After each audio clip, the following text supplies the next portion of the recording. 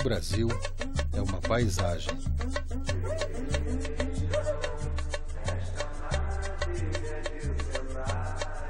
Um paraíso tropical, habitado por uma gente alegre, Que tal uma cachaçinha agora, hein? exótica, Brasil, esse qualquer vida conto. Uma gente misturada, espontânea e amistosa. O país do futebol,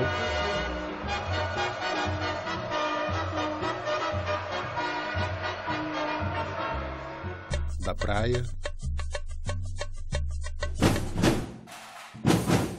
do samba,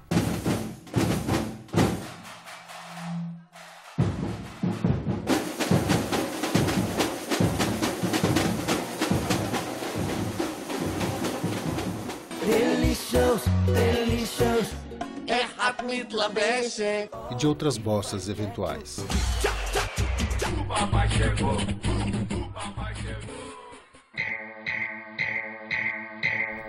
As imagens desse Brasil e desse brasileiro genéricos estão presentes no cotidiano de muita gente, aqui e lá fora, como aquilo que melhor representa um país ou um povo tão diverso quanto desigual.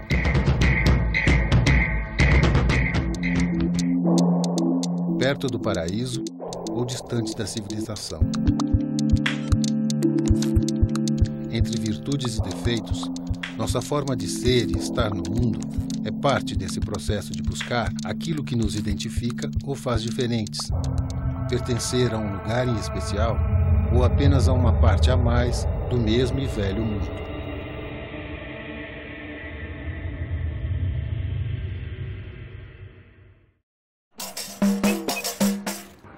Que eu sou? Quem eu penso que sou? Eu? O que que eu penso que eu sou? Eu sou eu. Ô, meu irmão, eu não sou nada, eu sou uma criança, sou pequenininho, né? um cidadão brasileiro honesto e trabalhador. O que mais me agrada no Brasil é esse clima, né? O Brasil é um país abençoado e tranquilo. É um país que não tem preconceito, né? Talvez seja diferente dos outros, que eu me orgulho de ser brasileira. Muita gente trabalhadora. Mas as dificuldades são muito grandes. E mal remunerados. Pá! Pá! Vamos! Vamos! Eu nunca andei no mundo não, mas diz que é a melhor terra do mundo. Não é? Quem você pensa que é, o que somos ou pensamos que somos, são temas recorrentes na nossa história e, em boa medida, fazem parte daquilo que herdamos do passado, de como lidamos com isso. É lá que podemos encontrar as respostas para essas dúvidas primordiais. Ou a razão delas existirem.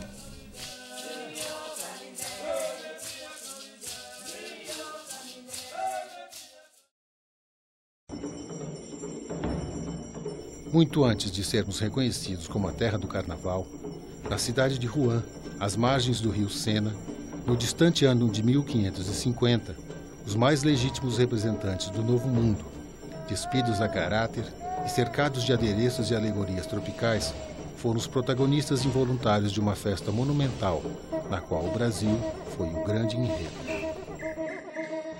Homens de negócios promoveram um espetáculo que se destinava a recepcionar a chegada do rei Henrique II e sua esposa Catarina de Médici àquela importante cidade portuária da costa da Normandia. Por detrás deste carnaval fora de lugar, havia o interesse de armadores e comerciantes em impressionar suas altezas e convidados ilustres e convencê-los a investir em projetos comerciais e de ocupação daquele pedaço já cobiçado e até ali pouco conhecido da América. Eles fizeram uma festa e levaram um índio para compor o cenário da festa. Uma festa para mostrar quais eram as possibilidades da América. E nessa festa, o que eles fizeram? Eles encenaram uma vida indígena nas beiras do, do, do Sena. Levaram daqui do Brasil uma série de índios para Rouen. Os outros que faltaram complementaram com marujos já morenos e tal, que tiraram a roupa também, todos nus e construíram ocas na beira do rio. Simularam batalha. Teve batalha simulada no formato teatral e tal. Esse documento, ele existe, a descrição original. A festa de Rouen é um exemplo ilustrado de como o Brasil estava sendo incorporado ao imaginário europeu até a primeira metade do século XVI. Um documento que só foi revelado aos brasileiros no século XIX, graças a um francês chamado Ferdinand Denis. Um viajante escritor, apaixonado pelo Brasil, autor de obras relevantes para a nossa historiografia, e que também teve um papel importante no processo de independência, por apontar à geração de jovens intelectuais e poetas românticos brasileiros as bases da nacionalidade daquele país recém-nascido. No lugar do modelo europeu, inspirar-se no vigor da natureza tropical e na originalidade da cultura indígena.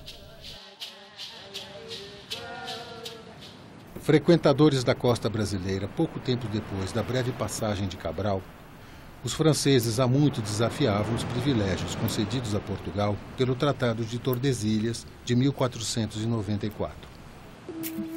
Os relatos da viagem do navegador Binot Palmier de Gonneville, que se dirigia ao Extremo Oriente, registraram sua passagem acidental pela costa de Santa Catarina já em 1504, em virtude de um naufrágio. Além de informações náuticas e geográficas, esses relatos narravam os incidentes que o levaram a viver uma experiência singular com nativos daquela região do nosso litoral. Após seis meses de convívio, ao retornar à França, Gonneville leva consigo aquilo que encontrara de mais exótico para o deleite de nobres e reis. Entre carregamentos de pau-brasil, animais e plantas desconhecidas, um jovem indígena, cuja tripulação passara a chamar de Esomeric, prometendo trazê-lo de volta após 20 luas, treinado nas artes da guerra. Ele leva um índio para a França. Esse índio não pôde voltar e ele tinha prometido para o pai. O cara era honesto. O cara é, prometeu ao pai que ia trazer o índio de volta, não pôde trazer. Casou o índio com uma sobrinha dele e o índio desenvolveu uma linha, é, uma linha de, de, de, de, família na França, Isomeric, e um, descendente escreveu um descendente bispo escreveu um livro sobre ele porque queria ser isentado do, do imposto de renda dos impostos e falou olha eu vim obrigado para a França meus antepassados vieram obrigados aí conta a história do camarada durante décadas o litoral brasileiro foi tomado por piratas e traficantes que, através de alianças e do escambo com as tribos que habitavam a costa, levavam para a Europa, pau-brasil e alguns exemplares da nossa fauna e flora. Alguns marinheiros e degredados passaram a viver entre os índios, constituindo famílias, sem roupa e longe do pecado, em harmonia com a natureza. As pessoas não têm ideia do que era a familiaridade dos franceses com a costa brasileira, o que era o Brasil, o que eram os índios, como é que você negociava com os índios, como é que era a vida dos índios, como é que essa gente se comportava. Língua, havia uma familiaridade enorme com os indígenas. Das conversas de marinheiros e curiosos frequentadores dos portos do Velho Mundo, o Brasil aos poucos foi sendo visto e representado nos mapas e relatos desses viajantes que, por variados motivos, enfrentaram mares tenebrosos, a incerteza das rotas, doenças e intempéries em direção ao desconhecido. O que, o, que o, contemporâneo entende por relato de viagem podem ser cartas, pode ser diário, pode ser, podem ser relações, algumas mais técnicas, outras menos técnicas. As mais técnicas geralmente são escritas por navegadores mesmo, pilotos. Então o indivíduo vai descrever a costa, a latitude, a longitude, o contorno dos portos, como é que entra, como é que sai, que ventos, geografia. Quem escreve já leva consigo um pouco a obrigação de relatar o que viu. Por quê? Por várias razões. Primeiro porque é caro. Então essa gente que está indo custou muito dinheiro para ir custa tanto dinheiro que não é um empreendimento privado, é um empreendimento ou de grupos ou estatal. O cara tem que calcular os investimentos dele, ele investiu dinheiro, ele tem que ver o que ele vai investir mais, se é lucrativo, se não é lucrativo, não é? Que jeito é aquela gente, para ver que jeito ele vai se relacionar com ela também. Voltam poucos, isso é outra característica. O custo humano é muito alto das navegações. Há uma coleção de relatos que se chama Histórias Trágico-Marítimas, que mostra um pouco as perdas de naus para as Índias. Para as pessoas terem uma ideia, é, é avassalador a perda humana dessas grandes navegações. Então, quem sobrava era pouco, pouca gente sobrava para contar o que viu. Acompanhando o rápido progresso das técnicas de impressão, esse gênero de narrativa foi sendo publicado em livros e folhetins e se difundiu pela Europa. São relatos que ombreiam com narrativas ficcionais, dada o maravilhoso, as experiências extremas né, que elas descrevem. As viagens devem ter monstros, acéfalos, sinocéfalos, ah, serpentes gigantescas que engoliam navio. Ah, tinha que ter isso. Isso fazia parte desse, desse transporte para o outro mundo ou para os outros mundos. Relato de viajante sem monstro, né? sem sereia e sem cobra não é relato de viajante. Tem que ter, são, são tópicos né, dos relatos.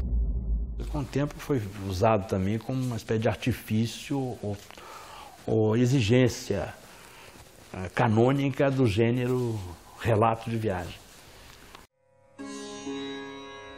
Outras razões contribuíram para explicar essa profusão de viagens e relatos que levaram a Europa a voltar os seus olhos para o nosso continente.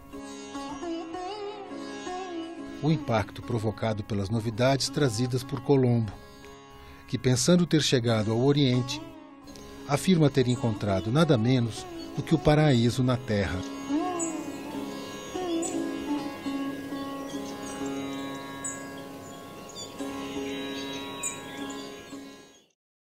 Caso do Colombo, acidentalmente, e isso é sabido porque temos os diários do Colombo. Então, acidentalmente, ele, ele depara com a América, se inaugura uma história nova na, na Europa.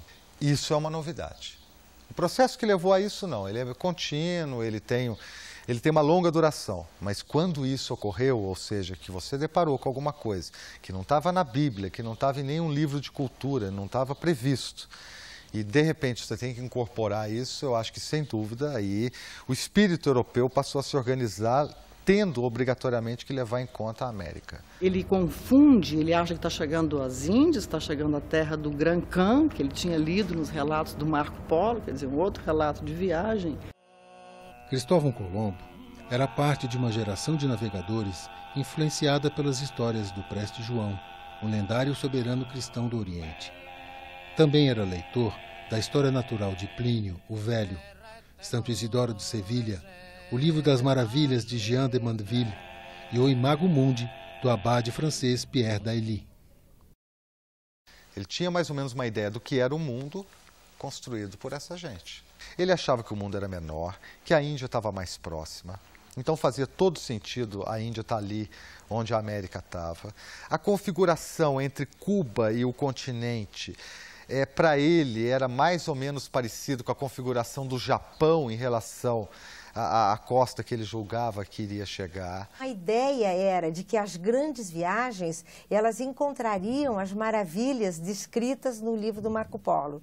À medida em que foram sendo traduzidos e publicados em vários países da Europa, os relatos de viagem de Colombo foram sendo ilustrados com imagens que citavam a imaginação de seus leitores e ajudavam a traduzir para o velho mundo, cheio de conflitos, privações e fantasia religiosa, as virtudes naturais desse lugar, habitado por uma gente selvagem, nua e exótica, atormentada pelos demônios. Bárbaros que cultivavam o espantoso hábito de comer gente. E aí já começa então né? Essa designação deste outro diferente, como exótico, como um canibal, aí ele se pergunta, será que os homens que habitam lá têm cauda, têm focinho de, de cachorro, são que tipo? Então você sente um profundo mal entendido. Né? E, e, e, a própria definição de índio, quer dizer, índio é uma definição genérica. Esse outro genérico que, na verdade, não é, não é conhecido. Né? Ele é designado, definido pelo outro há uma série de possibilidades que fez com que ele decodificasse o mundo dos livros na América. E durante muito tempo acreditasse que era assim. Inclusive morreu acreditando que era assim. Né? Uma história tão cheia de fantasia e imprecisões que coube ao oportunismo de Américo Vespúcio, uma espécie de consultor multinacional com aspirações à notoriedade, confirmar que esse paraíso era parte de um vasto e novo continente, que mudaria a configuração do mundo até ali conhecido por geógrafos e cartógrafos, e que receberia o seu nome. Uma novidade que despertaria o interesse de editores e artistas a publicar e ilustrar as várias cartas atribuídas a ele, revelando esse mundo novo, dominado por selvagens sem roupa, sem vergonha, sem fé, sem lei e sem rei.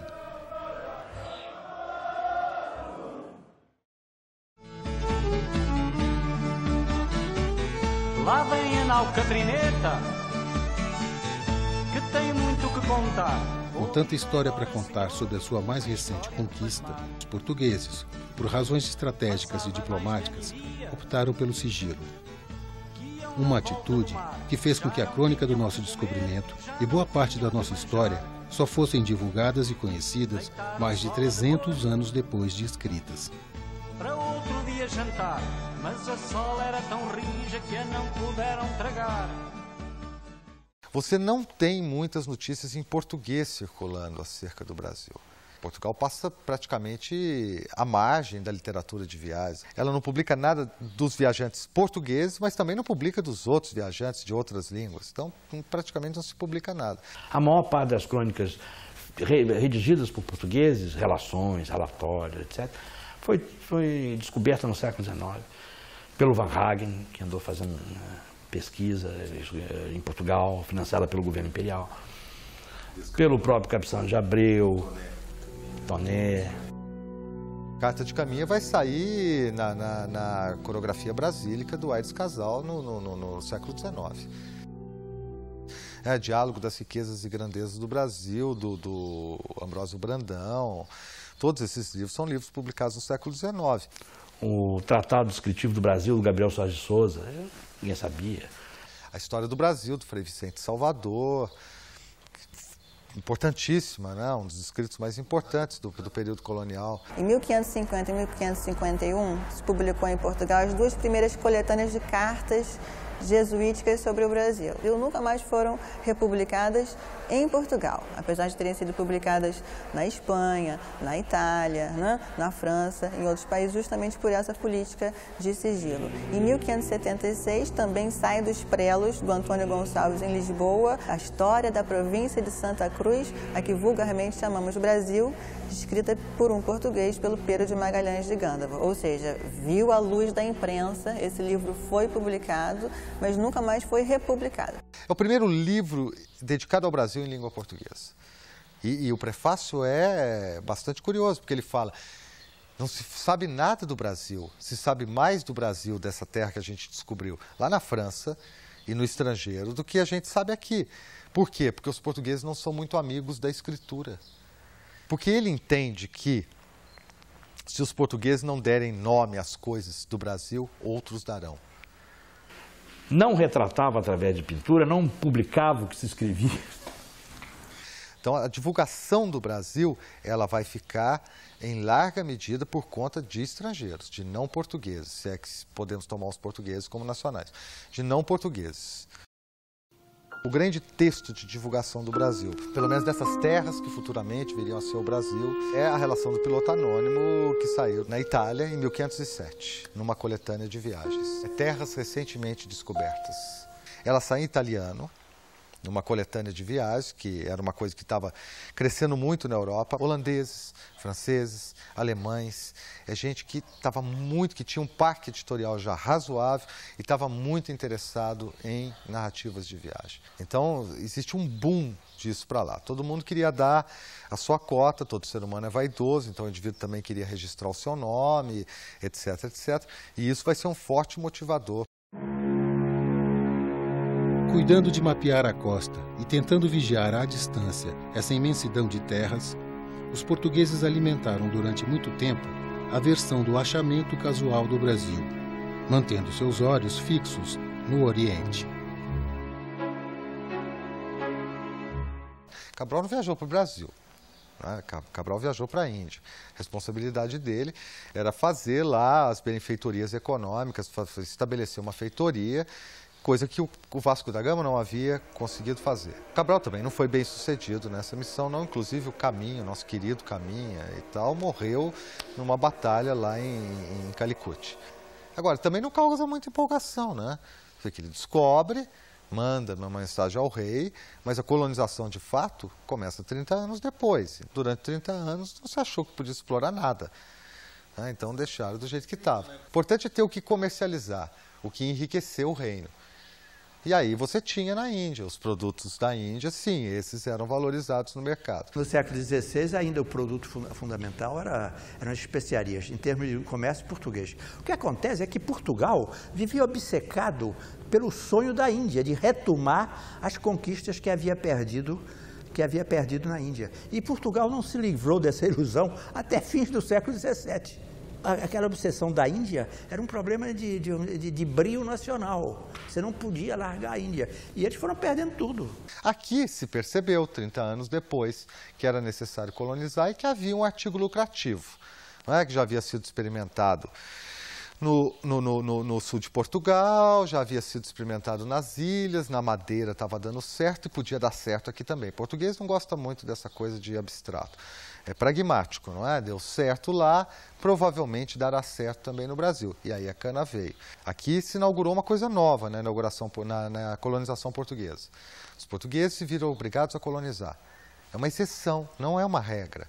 Então aqui teve que despender tempo, dinheiro, vidas humanas.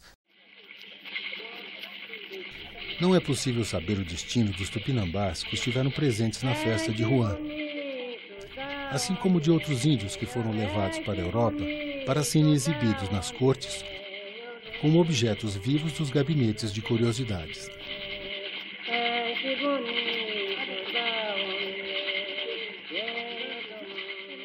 Mas o desfecho desse espetáculo acabou levando os franceses a uma nova e tumultuada empreitada.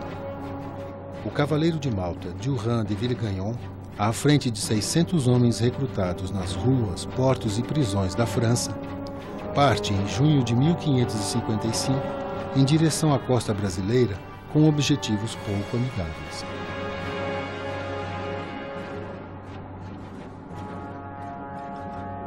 Fundar uma colônia francesa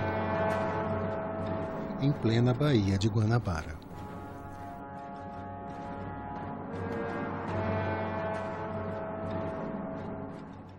Os franceses eles tinham um interesse muito específico. A indústria têxtil de Rouen, ela precisava de pigmentos, tintas naturais para os seus tecidos.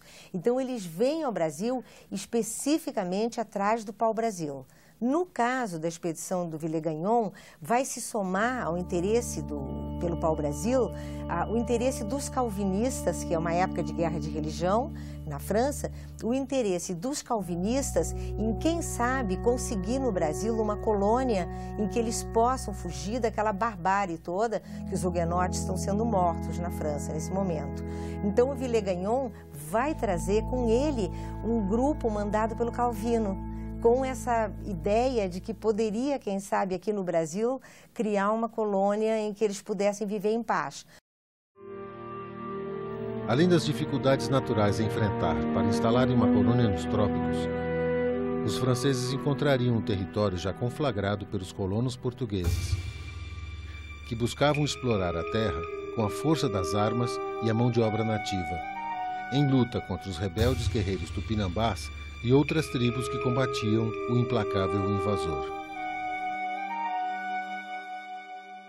Há um gosto dos índios por eles, porque acredito que eles vão ajudar a combater outros inimigos portugueses e outros índios. Né? Se fala muito que os franceses se relacionavam melhor com os índios do que os portugueses.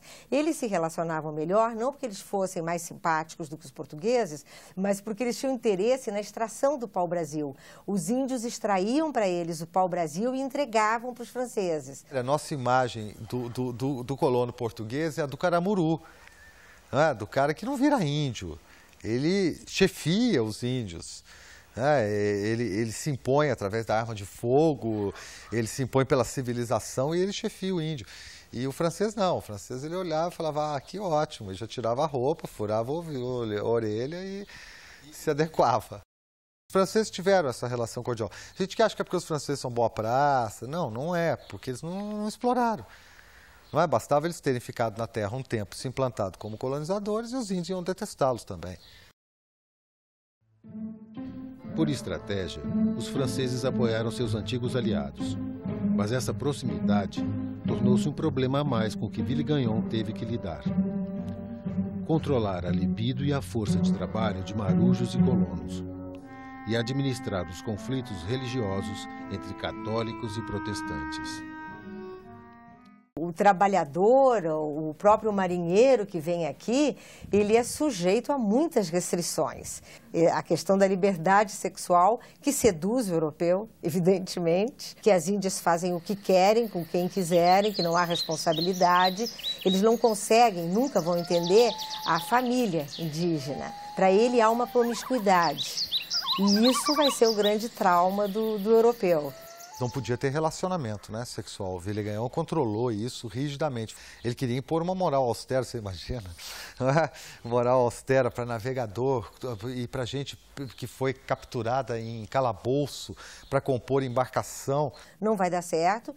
As grandes disputas do grupo do Villegagnon vão ser entre huguenotes e católicos. Depois o que, que acontece? Ele se vê completamente desassistido pelo Estado francês desassistido por quem tinha posto ele lá, não há possibilidade de dar continuidade ao projeto colonizador, o projeto naufraga. E foi nesse contexto que surgiram algumas das principais narrativas sobre o Brasil do século XVI, descrito aos olhos do Ocidente. Os livros Singularidades da França Antártica, de 1557, e Cosmografia Universal, de 1575, de autoria do frade franciscano André TV, e o livro Viagem à Terra do Brasil, publicado em 1578 pelo pastor protestante Jean Delery.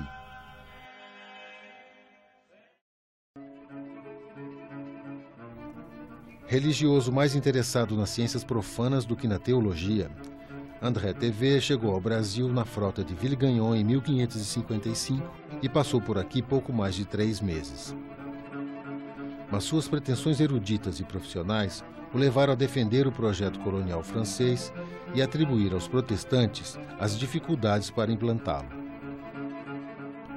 Apoiando-se na experiência adquirida em viagens anteriores a lugares desconhecidos, dirige o seu olhar para as singularidades da natureza tropical e a variedade da vida dessa região que muitos ainda acreditavam inóspita da terra. Com o recurso das imagens, TV descreve o clima, a variedade da flora e a fertilidade da terra. Apresenta curiosas espécies de animais, alguns com estranhos traços humanos. E os humanos que ali viviam, apesar de formosos e saudáveis, como selvagens que se comportavam como bestas à margem de Deus, incapazes de escolher o seu próprio destino. Nesse primeiro momento era um momento de deslumbramento, de encantamento, né? era o mundo edênico, né? a natureza, eram cinco As, muitas aves, muitas águas, muitos ares, tudo maravilhoso, tudo muito saudável. Essa ideia de que o Brasil é um paraíso, não é? É um paraíso em termos uh, de clima, que sai daqueles horrores do inverno da Europa. É um, um paraíso porque a comida é abundante. E aí era uma diversidade alimentar impressionante, né? Macacos, porcos do mato, todas as aves, né? Os peixes de rio.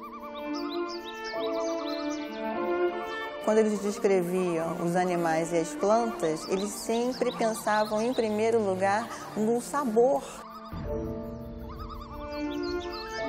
A mandioca, que era a base da alimentação indígena, as farinhas de mandioca.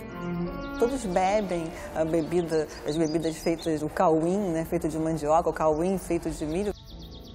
Eles queriam mostrar que o Brasil era um lugar habitável né? e que cada um daqueles produtos poderia ser, não, não só é, proporcionava uma vida agradabilíssima para os moradores, né? mas podia também ser comercializado e tal. Jean Delery passou quase um ano no Brasil. E os conflitos religiosos o levaram a uma intensa convivência com os índios tupinambás. Ao publicar seus relatos muitos anos depois de sua viagem, o protestante apresentou sua versão do fracasso da França Antártica.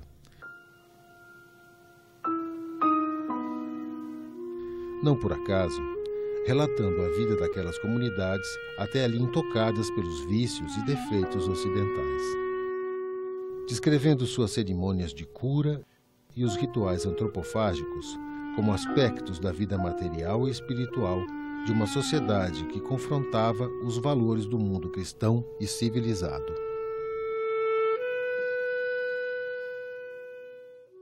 Já se projeta um pouco no índio eh, o excesso sexual, ah, o fato de andar nu, etc, etc. Uma gente bárbara, meio excessiva, etc.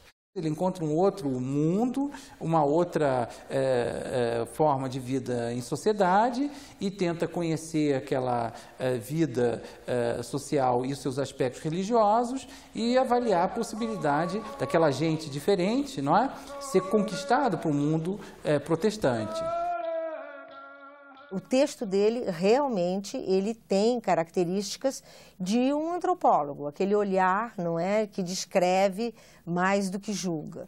É, há passagens muito interessantes em que ele, é, você entende que ele atribui os males e os erros, os pecados, entre aspas, dos índios, mais à tentação por parte do diabo do que a uma maldade intrínseca do próprio índio, né? Ele não era propriamente um cientista, ainda que a antropologia científica eh, do século XIX e XX tenha muitas vezes redescoberto essas informações com valor científico. A história da relação da França com o Brasil ainda teria outros capítulos, mas o interesse por essas terras não seria exclusividade de aventureiros franceses. Em 1557, é publicado na Alemanha o livro Duas Viagens ao Brasil, título abreviado dos relatos do mercenário alemão Hans Staden. Existem poucas informações sobre o passado de Staden, mas sua aventura teve início em 1548, ao ingressar como artilheiro em uma nau portuguesa que se dirigiu ao litoral de Pernambuco para combater piratas e corsários franceses e ajudar os colonos a controlar revoltas indígenas. Retornando à Europa em 1549, no ano seguinte, desta vez a serviço da Espanha, Hans embarcou numa expedição que tinha como destino a colônia ibérica da região do Rio da Prata. Mas o infortúnio de um naufrágio, ocorrido nas proximidades do litoral de Santa Catarina, o trouxe de volta ao Brasil pela segunda vez. Seguindo por terra até a vila de São Vicente, Staden foi incorporado ao exército português e acabou nomeado condestável da fortaleza de Bertioga. No ano de 1553, ao tentar resgatar um escravo perdido, foi capturado pelos temidos tupinambás e feito prisioneiro por longos nove meses.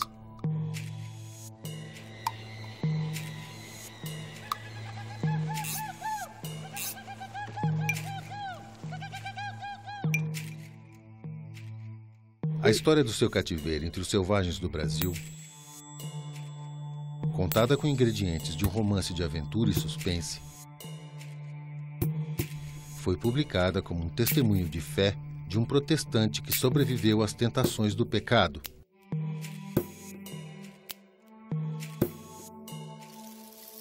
E aos costumes bárbaros daquela gente pagã e traiçoeira, que, por considerá-lo um inimigo português, ameaçavam transformá-lo em refeição de um assombroso banquete canibal.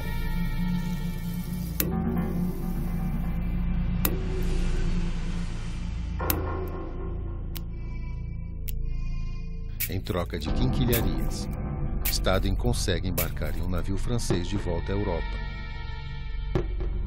E acabou produzindo uma obra que hoje tornou-se uma fonte histórica e etnográfica preciosa sobre os primeiros anos de ocupação do nosso território.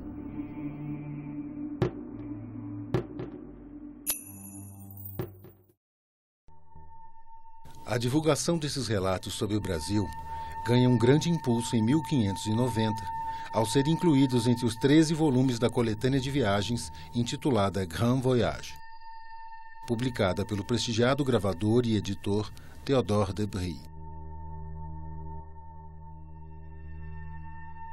As gravuras que ilustram suas edições exerceram grande influência no modo como o olhar estrangeiro passou a enxergar e interpretar o encontro entre o velho e o novo mundo.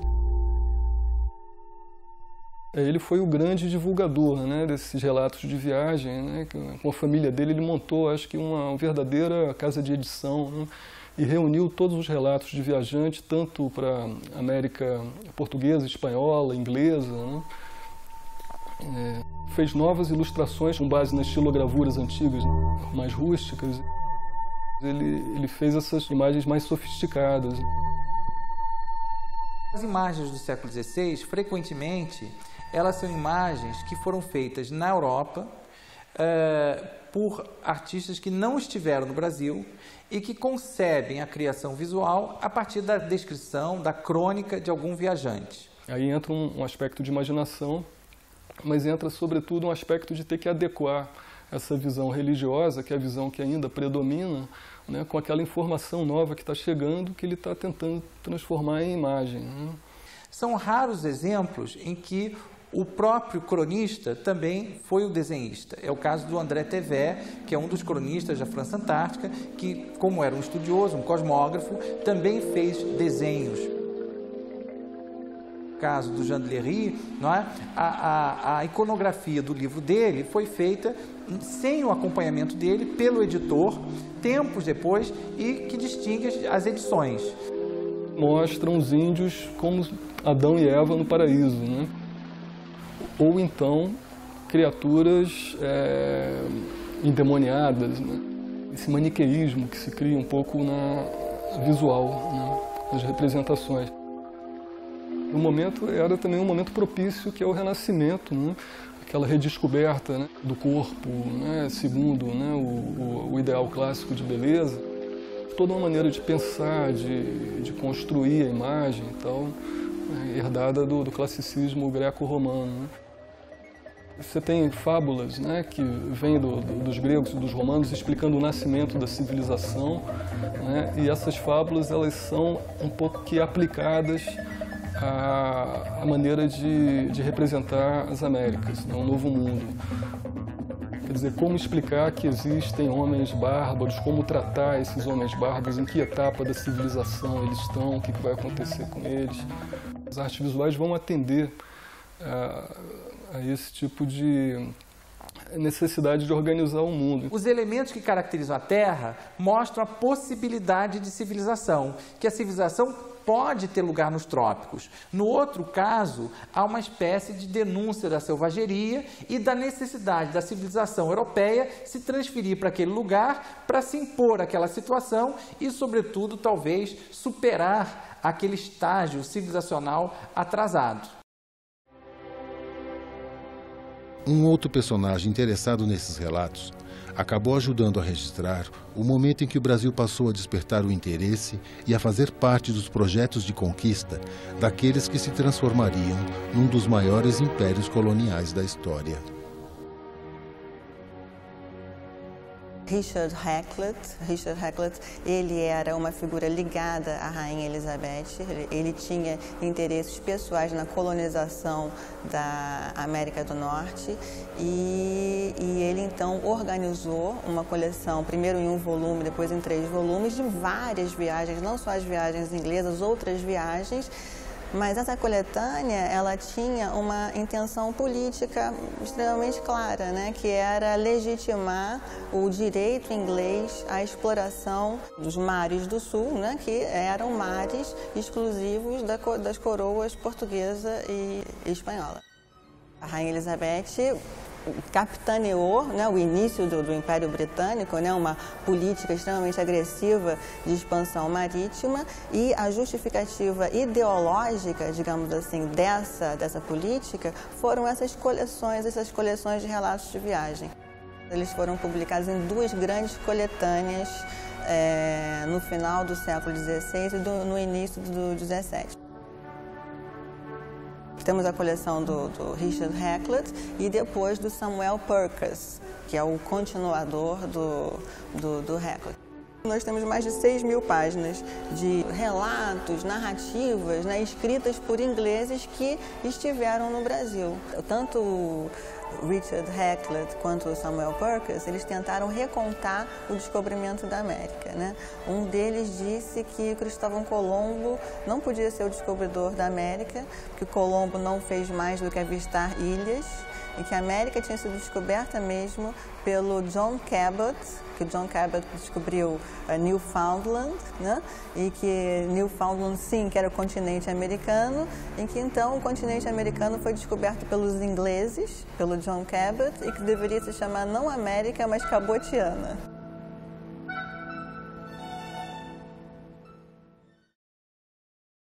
A primeira viagem que se tem notícia de ingleses ao Brasil, o comandante é o famoso Sebastião Caboto. A viagem, na verdade, se destinava às Molucas. Eles colocaram na, nessa frota dois ingleses, um deles chamado Roger Barlow. E, esse, e eles tinham uma missão secreta trazer de volta mapas que descrevessem essas rotas marítimas, os ventos, né, para abrir rotas possíveis para o comércio inglês. Acontece que Sebastião Caboto, quando chegou em Pernambuco, soube que havia, que seria um bom negócio é, explorar o Rio da Prata. Então, eles não foram às Molucas e passaram, acho que, três anos no Rio da Prata. Eles entraram até o Rio Paraná, foram do Brasil adentro.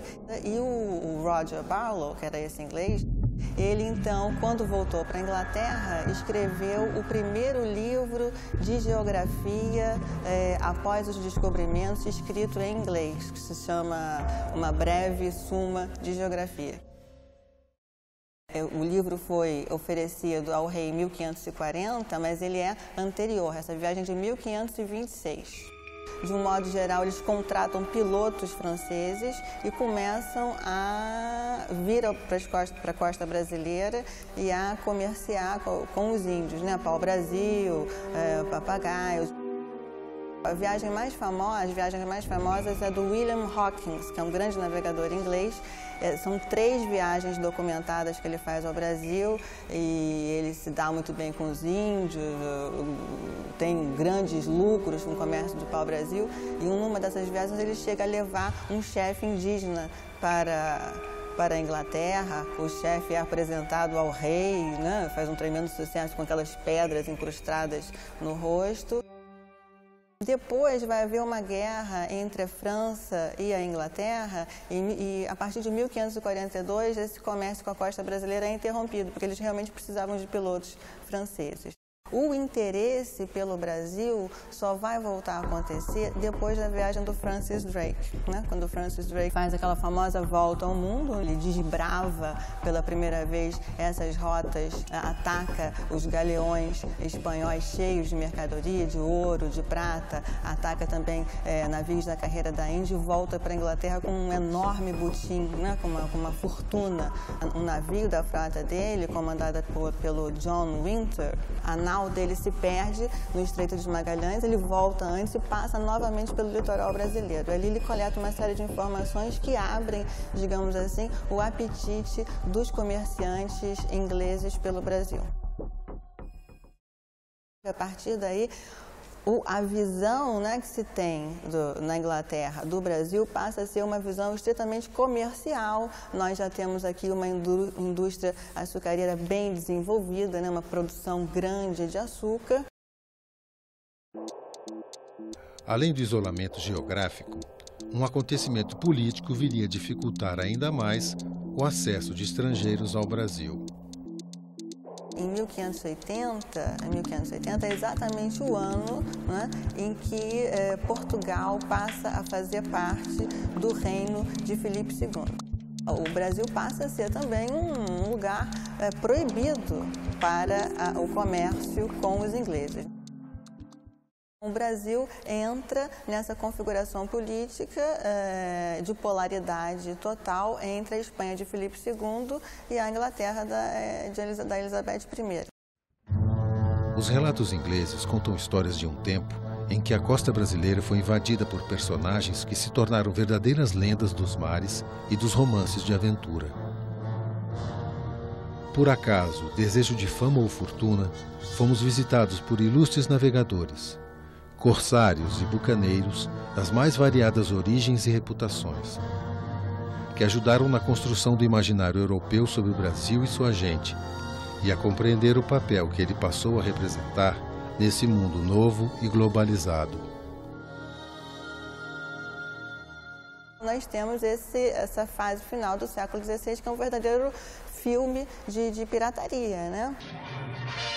Ataques mesmo, viagens de corso e ataques extremamente agressivos. Imediato! Sim, capitão! Aumente as remadas para oito! Certo, capitão!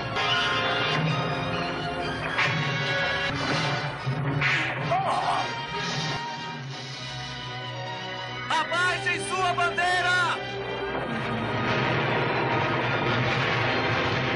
Vamos lá, senhor P. Mostre-lhes como baixar a bandeira. Sim, senhor! Vamos abordá-los!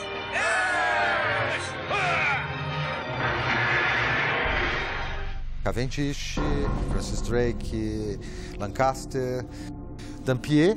Dampier era bucaneiro na América Central. Então era um bucaneiro famosérrimo. Esse, o Piratas do, do, do, Caribe é baseado nessa gente. É chamado pelo governo inglês para fazer suas viagens a mando do governo inglês, com aval e com dinheiro do governo inglês. O que passou aqui, Woody Rogers, que foi fazer saque lá na costa do Chile, foi o homem que descobriu aquele indivíduo perdido na ilha que depois virou o romance do Daniel Defoe, o Robson Crusoe. Ele também era pirata. Fresier, ele vai para os portos do Chile, para os portos do Brasil, com o firme propósito de fazer espionagem. Reuters, um holandês, ele escreveu um livro chamado Tocha da Navegação. Ele foi prisioneiro no Brasil. Não se sabe como ele foi parar de volta na Holanda. Ele faz balanço, que inclusive é utilizado pelos nossos historiadores, de quantos engenhos e qual é a média de produção açucareira de cada engenho da costa brasileira, do Rio de Janeiro até o Nordeste. Na última década do século XVI, que é 1590, né, uma das viagens mais famosas é a viagem do Thomas Cavendish. Né? O terceiro navegador a dar, a dar a volta ao mundo. Primeiro foi o Fernando Magalhães, depois o Drake e o Cavendish fez essa volta ao mundo. Na primeira volta ao mundo ele não passou pelo Brasil, voltou extremamente rico para a Inglaterra. Resolveu fazer uma segunda circunnavegação que foi mal sucedida dessa vez para no Brasil, ataca a Vila de Santos, passam ali um, uns dois meses em Santos, depois quando eles saem, eles saqueiam, incendeiam vários, vários engenhos, né? Ele queima Santos, ele tenta passar o Estreito de Magalhães, não consegue, ele retorna, é escorraçado da costa brasileira, perde batalhas na costa de São Paulo, depois na costa do Espírito Santo, em Vitória, nomeadamente, tenta voltar, morre no meio do caminho. O Cavendish tinha essa, essa prática, esse hábito de abandonar os moribundos em praias desertas. Uma das pessoas da tripulação dele, um jovem chamado Anthony Nivet, que os portugueses chamam de Canivet, Anthony Canivet, Antônio Canivet, ele abandona esse, esse jovem nobre, de família nobre inglesa, o Anthony Nivet, numa praia deserta no litoral da capitania de São Vicente, atual estado de São Paulo, e ele então é aprisionado, é dado de presente para um mestiço, como ele diz, e ele passa a trabalhar então como escravo. Depois ele passa a ser escravo da família Correia de Sá, do Salvador Correia de Sá, governador da capitania do Rio de Janeiro naquela época, né? Trabalhando em, no engenho de açúcar. Então ele fugiu, aí fica um tempo entre, entre os índios, né? faz várias viagens pelo interior do Brasil, não só para tentar descobrir algumas minas, tem outras expedições também para descobrir minas, mas de uma forma, geral de aprisionamento de índios para escravidão dos índios. É o único relato do século XVI em que nós temos esses relatos de extermínio indígena em grande escala. Né? E esse rapaz então passa 10 anos no Brasil, quando volta para a Inglaterra escreve um livro de memórias, As Incríveis Aventuras e Estranhos Infortúnios de Anthony Nivet, que é um dos relatos mais é, vívidos né, sobre o Brasil no século XVI, porque ele é escrito em primeira pessoa, ele é uma narrativa de uma aventura, né, e o Nivet não tem, não tem um pingo de heroísmo, não tem um pingo de heroísmo, ele parece um, um, um herói de um romance picaresco ele sempre sabe contar a mentira certa no lugar certo para sobreviver, né? tentando, digamos assim, negativizar né, a figura tanto do colono quanto do português. Ele se identifica muito mais com os índios do que com os portugueses. O nível, justamente por ter esse olhar, digamos, de outsider, né, de, um, de um, cidadão, não cidadão de fora da sociedade, de um escravo, ele descreve é, tudo com tintas muito vivas e muito cruas. Né? Em um determinado momento do, do, das memórias dele, ele diz assim: prefiro colocar-me nas mãos da piedade bárbara dos índios do que na crueldade sanguinária dos portugueses. O James Lancaster também, que é um, um navegador inglês que teve aqui no Brasil, no, no, no relato sobre a viagem pirática dele no, na, em Pernambuco, ele também tem uma frase que ele diz, não, não vocês não podem confiar, eu, eu passei a minha infância entre, em Lisboa, eu conheço muito bem os portugueses, vocês não podem confiar nessas línguas enganosas. Acontece que grande parte, ou a maior parte desses relatos, ela permanece inédita em português. Né? A gente tem mais ou menos uns 30 relatos sobre ingleses no Brasil no século XVI, né? só um deles foi publicado. Né? Eu acredito que seja por isso, por essa imagem negativa que eles constroem sobre o Brasil.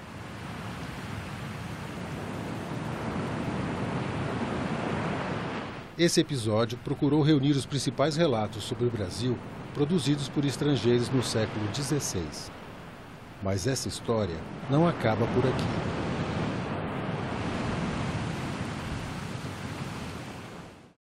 Quem foi o outro que nos designou desde o começo? um dos sentidos mais nobres, né? desde os gregos, né? eles falavam a questão do olhar como um espelho, como um reflexo porque o Brasil, ou mesmo a América Latina, tem tal obsessão pelo tema da identidade. O olhar é um sentido muito, é que tem muito poder de discriminação, né? de classificação, né? de organização da realidade. Nós tivemos a nossa identidade enquadrada, definida pelo outro estrangeiro desde o nosso nascimento, digamos assim. O olhar, ele, ele forma um quadro, ele forma uma grade né? feita de valores, feita de é, é, conceitos né? que preexistem àquele olhar. Eles traziam né, essa, essa, esse enorme poder simbólico, que é esse poder de nomear o outro. Este outro que nos definiu foi um outro que se definiu desde o princípio como superior, como civilizado, em oposição a nós, os bárbaros, os canibais, os, os incivilizados, né, os mestiços, etc. Por isso que é, ele tem tanta, tanta repercussão sobre a autoimagem né, que os brasileiros fazem de si mesmos. Né? Nomear é como tomar posse. As narrativas de viagem sobre os primeiros séculos de nossa história, um legado cultural disperso e pouco acessível, representam a forma como fomos incorporados e assimilados durante o processo de construção da imagem que o Ocidente projetou sobre o Oriente e as Américas, e que ainda povoa o imaginário de nativos e estrangeiros até nossos dias. Foi um elemento muito provocador também, né? a, a descoberta do, da, das Américas. Né? A Europa é uma outra Europa depois da América. Eu acho que a América reinventa a história do Ocidente. Não foi só a Europa que veio nos civilizar e expandiu a civilização europeia instituindo né, de uma maneira definitiva a modernidade. Foi um encontro com a América que também definiu e reforçou a identidade europeia. Ela coloca problemas como a liberdade, é? problemas como a pluralidade cultural, a concepção de Deus, a, a, igualdade entre os homens, não é? Há índios que vivem iguais, como nós aqui civilizados na Europa não vivemos. Essa é uma comparação que você vê desde Montaigne até a Revolução Francesa. No Renascimento, quer dizer, com o humanismo, você tem os primeiros filósofos que dizem que o, o homem selvagem ele está num estado de pureza, de, de que, que, é uma espécie de pré-visão do pré-russoísmo, né? O Rousseau é que disse que o homem é naturalmente bom, né? O índio, que é essa gente que vocês chamam de bárbaro, vive lá no meio do mato, igual, como, como iguais, não tem pobreza, ninguém morre de fome, são livres e nós aqui, supostamente civilizados, temos rei, construímos uma corte, uma civilização e somos desiguais, a gente morrendo de fome, um mandando o outro. Então você usa os outros mundos para fazer uma crítica ao mundo europeu. O olhar desses viajantes acabou por colocar o velho e o novo mundo como sujeitos de uma história em comum, promovendo o encontro entre povos, estabelecendo igualdades ou diferenças definindo identidades e fronteiras. Alimentando as forças que mudariam o equilíbrio entre a fé e a razão. Revelando o vigor e a fragilidade das culturas. Aspectos determinantes no destino e na autoestima de muita gente daqui e de lá. Virgem foi plantado com meu nome. E a raiz de tão dura ninguém come Porque nela plantei a minha origem. Quem tentar chegar perto tem vertigem Ensinar o caminho eu não sei. Das mil vezes que por lá eu passei Nunca pude guardar o seu desenho. Como posso saber de onde eu venho? Se a semente profunda eu não toquei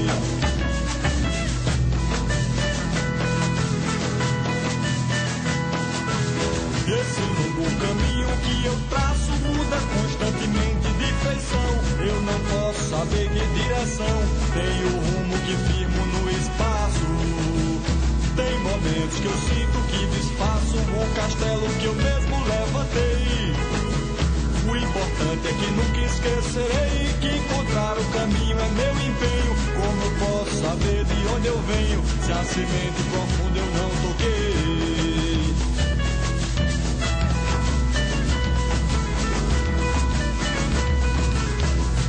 Posso saber a minha idade se meu tempo passado